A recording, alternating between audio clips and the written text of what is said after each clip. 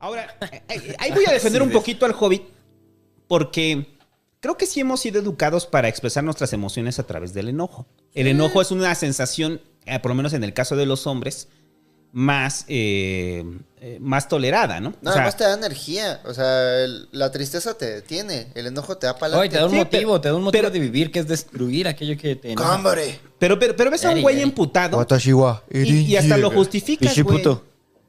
O sea, Los voy ve- a matar a todos. o sea, ves a un güey emputado y lo justificas. Y es que Les está habla enojado. Vladimir Putin. Que salió en uno de South Park apenas Vladimir Putin, que lo, lo achacan a que tiene la crisis de los 50 años. El güey está bailando ahí. sí. No mames. Pero bueno, entonces, el, el rollo es que mucha banda eh, que, están in- que están incapacitados para expresar tristeza, eh, está normalizado el rollo de que sí puedes expresar ira. Entonces, de repente ves a un hombre violento, ves a una persona rompiéndose la madre, un cabrón rompiéndose la madre con otro cabrón. Eh, y dices, está normal, pues ¿cómo son los güeyes? Ah, pues los güeyes son violentos, son agresivos, así somos, resolvemos las cosas a golpes, le pegamos a la pared, ¿no? Y, y lo ves normal, entonces de repente yo te veo pegándote con alguien o pegándole algo, dices, ah, déjalo, güey. ¡Rómpele su madre! Déjalo que se le pase. grita, ¿no? O no, la, que- la le dicen es, déjalo que se le pase. Lo ¿no? vitoreas. Y entonces, pero es, esta es una pregunta para todos nuestros queridos escuchas. ¿Qué sintieron la primera vez que vieron llorar a su jefe? O sea, que lo vieron llorar. Pena. Ah, la verga, yo nunca lo he visto. ¿Mm? Ese es un, ese es No, un, yo me sentí muy incómodo. yo como- Eh, te sientes incómodo porque dices, ¿qué me enseñaron a mí? Me enseñaron que mi papá no tiene que llorar. Mi papá tiene que ser fuerte. Eh. ¿Qué? ¿Estás llorando? ¿Por qué estás llorando? No, o sea, la sociedad nos dice Yo hubiera preferido evitarlo en ese momento, ¿no? Sí, y como, como hombres estamos como en el pedo, pues, y nuestros papás llevaron una carga, digo que afortunadamente nuestra generación no es tan fuerte, todavía está, pero no es tan fuerte como la de nuestros padres, en las cuales años de dolor y años de sufrimiento, nuestros padres, güey, los vivieron en soledad. Hay una rola así en de soledad idols, ¿no? y en tristeza. Apenas acaba de venir una banda de idols que... acaba de venir una banda de punk que se llama Idols. Este, No era una banda de idols. No, no era una banda de idols. Es una banda de punk. Mm, se llaman Idols. Y este tiene una rola que dice The mask of masculinity is a mask that's wearing me. Es un juego de palabras porque normalmente tú usas una máscara, you wear a mask, pero wear también es como desgastar. Entonces una máscara es Wear, una máscara es una máscara que me usa a mí, es una máscara que me está desgastando. Y una y su estribillo comienza diciendo, "Esta es la razón por la cual nunca ves a tu papá llorar." Porque habla acerca de la masculinidad, que no te lo permite. Entonces, imagínense, o sea, yo lo, yo lo decía en algún ciber, ¿no? O sea, imagínense la generación de nuestros padres, no solamente la de nuestros padres, la anterior, en la cual tenían la necesidad de expresar esta tristeza. Y la tristeza que podían expresar nuestros padres, o sea, era en soledad completa, era sin necesidad de recibir apoyo de un círculo cercano, de nada. O sea, solamente se lo permitía en la pena, ¿no? Y entonces él lloraba porque probablemente recordaba un mal amor. O sea, decía que recordaba un amor que le dolió. Probablemente no era el amor que le dolió. Probablemente estaba llorando por la propia carga de la existencia. Y eh, eh, era el único momento que tenía de desfogue para llorar. Entonces, imagínense cuánto daño le hizo a los hombres. O sea, y no es como en el rollo de ponerse como los pendejos estos de masculinidades y bla, bla, bla. O sea, no. O sea, es cuánto, cuánto daño nos hizo a los hombres nuestro propio machismo. Ese más bien como que nos ha retrasado y nos ha eh, regresado. Yo pienso que una, la persona que más razones ha tenido para llorar este, en este mundo, este, Pepe el Toro. Y llora. No, pero solamente llora en el momento, en el momento donde ya es socialmente aceptable. Pepe el Toro se volvió un canon, un modelo a replicar durante muchísimos años y es como, no, no tienes que llorar por ser pobre, no tienes que llorar por ser maltratado, no tienes que llorar porque maltratan a tu familia, no tienes que llorar porque abusan de ti, no tienes que llorar por las condiciones trágicas de tu vida y por la desigualdad, no. Lo único que te vamos a permitir que llores es cuando tu hijo muera quemado. Ahí solamente ahí vas a poder emitir un El grito de terror cúmulo de la tragedia. un grito de terror, de sostener en tus manos a- al cadáver quemado de tu hijo, todavía caliente. En ese momento te permitimos una lágrima. Solamente en ese momento. Y, la, y por el otro lado, ¿qué es lo que... O sea, no, me preocupa un poco, sí, la situación como del atraso emocional que eso genera en el arquetipo del hombre. Pero la ridiculización que se hace del llanto en el asunto de la mujer es todavía grave también. No hay aquí un grabómetro. pero me parece una chingadera que si ves llorar a una mujer se lo achaques a una debilidad emocional o a una incapacidad este, Pero todavía personal. No, claro, pero cu- cu- cuesta trabajo entender que es su forma de expresar sus emociones. Y, a- y por lo menos a mí, en lo personal, me cuesta mucho trabajo entenderlo, ¿no? Pero ¿por qué te cuesta trabajo entenderlo? Producto de tu machismo. O sea, producto de que cómo has sido enseñado tú a expresar tus emociones. Cuando una mujer llora, pues probablemente es la única forma que tiene de expresar sus emociones. ¿Y tú cómo la estás expresando? Pues emputado. O sea, emputado, enojado, haciendo berrinche, cruzando los brazos, ¿no? Entonces, creo que el, el pedo del llanto es que la mayoría de los hombres, bueno, no sé ustedes si compartan esta opinión, frente al llanto nos sentimos incómodos con el llanto. Eh, Y sea masculino, sea femenino. El masculino todavía como que nos incomoda más, pero el femenino, o sea, el femenino no sabemos qué hacer. O sea, no sabemos qué hacer, pero ellas son la forma, bueno, algunas mujeres, es la forma en la que están sacando sus emociones, ¿no? Y tendría que ser correcto, ¿no? o sea, no, no pasa absolutamente nada. O sea, hay que tener empatía. entonces el rollo es la, la- la- la capacidad que tenemos de expresar tristeza, que está muy mal visto el expresar tristeza, que, que yo, lo, yo lo, lo escribí en algún momento, en, en, ¿no? de tragar sapos, o sea, de que está, una, mo- está la morra, está en el aeropuerto y está triste y está llorando. Y entonces, ¿qué es lo que pasa? Los hombres ven vulnerabilidad sobre una morra que está llorando y le dicen, ¿qué pasó, amiga? ¿Qué pasó, amiga? ¿Todo bien? O sea, con la intención de, de, de, de tener un vínculo romántico, ¿no? O sea, es como dices, "Qué cabrón, güey. Pero si ves a un hombre llorando, Un vínculo romántico, un vínculo de abuso. Porque te estás aprovechando de una, De una situación persona vulnerable. De otra persona para Ajá. entrar en sus vidas. Y no entras en sus vidas para mejorarlas. Entras en su vida para aprovecharte de ese vínculo. Este, es terrible. no, claro que es terrible. Pero ¿qué pasa con un hombre llorando en la calle?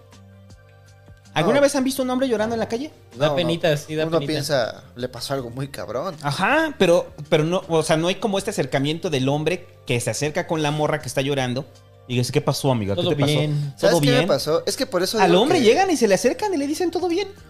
Una vez. No, güey, es así como de, ah, ese güey está llorando, ahí déjalo, ahorita se le pasa. Ah, ni lo voltees a ver porque hasta se siente feo.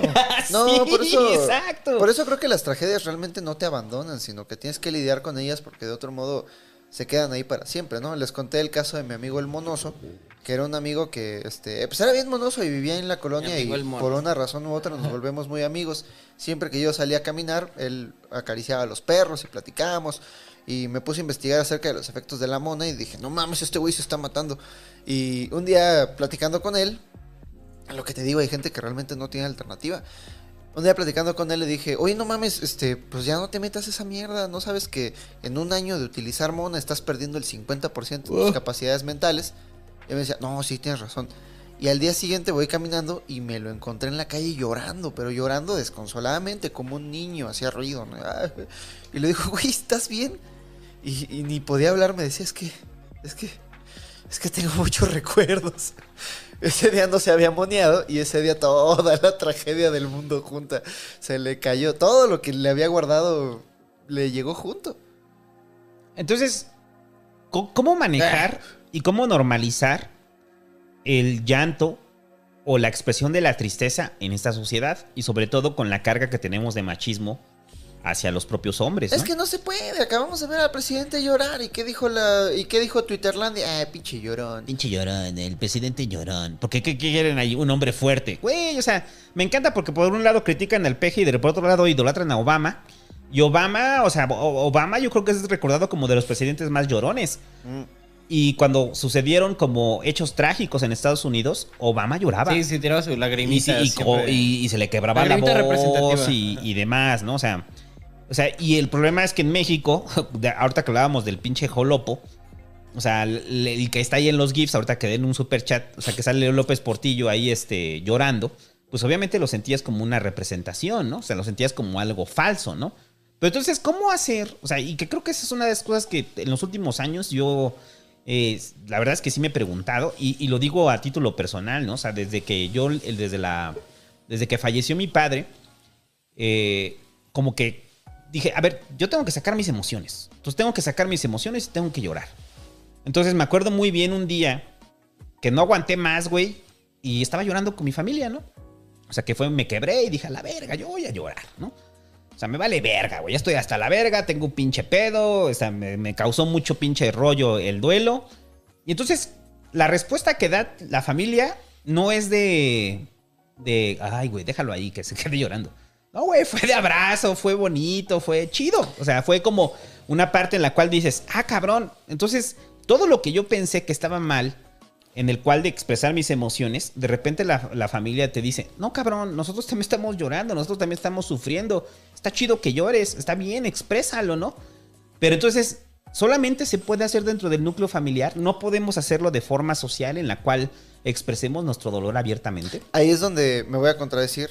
Y ahí creo que ese tipo de llanto sí tiene una función social. Porque este güey que está ahí en la calle llorando, a moco tendido y gritaba. Este, es un, un grito de dolor. Si tú en tu tribu gritas de dolor, es porque necesitas ayuda. Los bebés gritan cuando lloran porque necesitan la ayuda de sus madres.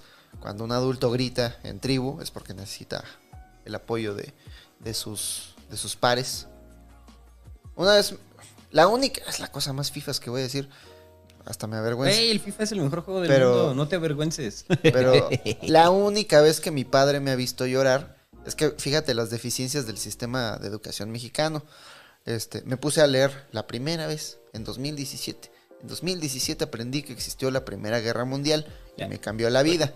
Y estaba yo leyendo acerca de este conflicto que parecía empezar con tal intensidad y con una pinche masacre tan brutal que yo decía, es que esta madre no puede existir para siempre, ¿no? No, no puede durar tanto. Y, y- estaba leyendo y me quedé en 1915. 1915, dije, no mames, estuvo muy culero. Ojalá se acabe pronto. Y ya voy a mi casa, ¿no? Y mi papá es un aficionado de la historia también. Y este. Y me puse a platicarle porque estaba obsesionado y le digo, no mames, es que ve lo que hicieron en Verdún, ve lo que hicieron en Passion del ve lo que hicieron en tal. Y- y no sé por qué me dijo, sí, y se acabó en 1918. Y yo no sabía, digo, no mames, cuatro años, cuatro años. Y, y me cayó de golpe, el, no mames, cuatro años de esto. Se hicieron esto durante cuatro años. Y, y- no, no podía. ¿Cómo duró cuatro años esa masacre? ¿Cómo? Y, me puse a llorar. por- Porque pues, fue una brutalidad. Y luego ya les lo demás. No mames. No mames. Y, llega un momento en el que te, te, desensibilizas. Y, y- y hay un soldado que escribe sus, sus diarios. Se llama este, Ernst Junger. Un hombre muy valiente, Ernst Junger. Escribe que hay como una etapa de transición. Dice, al principio no te duele tanto, al principio no se siente tanto ver los cadáveres y ver todo eso, porque ni siquiera le asigna significado, es que no se relaciona con nada que hayas visto en tu vida, no hay, no hay nada con lo que lo puedas comparar. Y al final ya no te duele tanto porque ya has visto tantos cadáveres, ya has olido tantos muertos que ya no te sorprende nada. El problema es la transición, el momento en el que sabes lo que estás viendo, el momento en el que comprendes todo lo que está sucediendo. Ese periodo de en medio es lo más difícil. El momento en el que te pega el, el horror en la cara, ¿no? O sea, que creo que eso es como un descubrimiento bien cabrón. Cuando ves como el cúmulo de la, del horror y que la sensación de tristeza es tan fuerte que solamente la puedes expresar a través del llanto, ¿no? No mames, cuatro años. No, la Segunda Guerra es mundial. Eh, La Segunda Guerra Mundial es peor porque todo el mundo sabía. O sea, toda esa gente que estuvo ahí, todos los jóvenes habían escuchado las historias de sus padres y todos los padres habían estado en la trinchera. Todos sabían a dónde se dirigían y nadie quería ir. Nadie. Y, y- y no tenían opción. Pero, pero- pero lo que voy es que mucha de esta, de la banda que nos escucha y que nos va a escuchar después, es que, en serio, hay un arraigo terrible en, el rechazo al llanto y sobre todo al llanto masculino. O sea, es, es, a mí me sorprende mucho, o sea, qué tan incómodo pone a los hombres ver a un hombre llorar. Qué tan incómodo pone el, el sufrimiento, porque está expresando sufrimiento, por eso estás llorando, está expresando emociones, ¿no?